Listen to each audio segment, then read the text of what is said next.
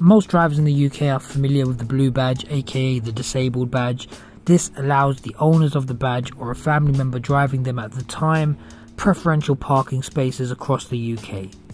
If somebody is using a blue badge when they're not supposed to be, namely when the disabled person is not in the car with them at the time, or if the badge is simply a badge they've found somewhere, uh, it's got no link to them whatsoever, this is known as a fraudulent misuse of a blue badge, it's a little bit more serious than the standard misuse.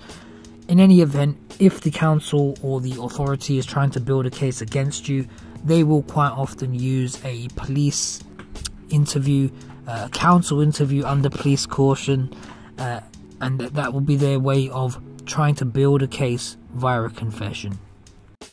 Now, of course, we always strongly advise our clients to be honest and upfront about what's happened. Mistakes do happen. Some people, you know, through ignorance or just through convenience, seeking convenience, they do make mistakes. Very important to own up to your mistakes. If this is the case, you should just say what's happened and hope uh, that you know you get a relatively low punishment. However, if there is any dispute on your end about you, if you were the driver on the day, especially if you dispute having used the badge at all, then you should seek solicitor's advice. Um, obviously, make sure what your account of the events are is clear.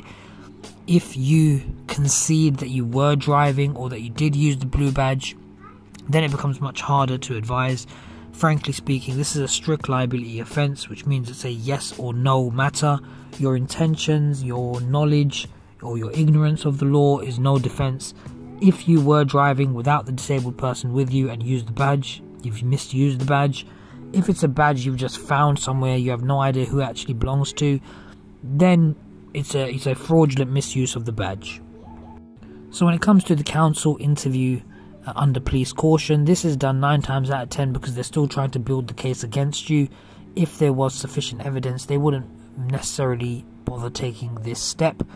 However, this is just a, a starting position. We can't assume it's the case in every single matter.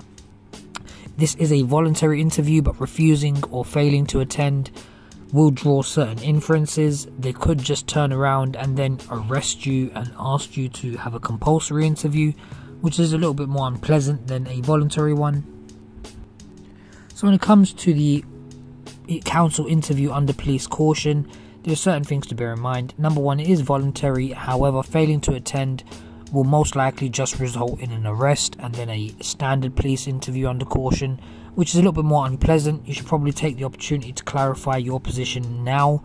So, we definitely recommend you attend. However, we also definitely recommend you take a legal opinion.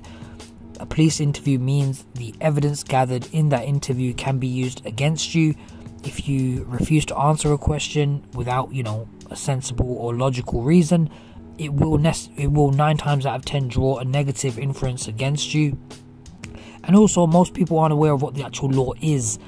They assume that if there's a reason for having used the blue badge, such as I didn't know it was illegal, it was a mistake, I'm sorry, etc. However, if there is any question about whether or not you were actually driving, or if you were using the badge, or if the person who is actually the owner of the badge, the disabled person, was present at the scene, we definitely recommend taking legal advice.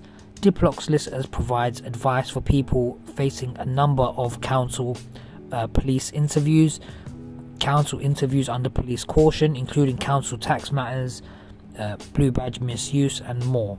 If you have any concerns regarding a advocacy situation, if you need someone to attend an interview on your behalf, you can contact Diplock Solicitors via phone or email and request our free consultation to discuss your matter further. Thank you for watching. Please do subscribe for regular legal content.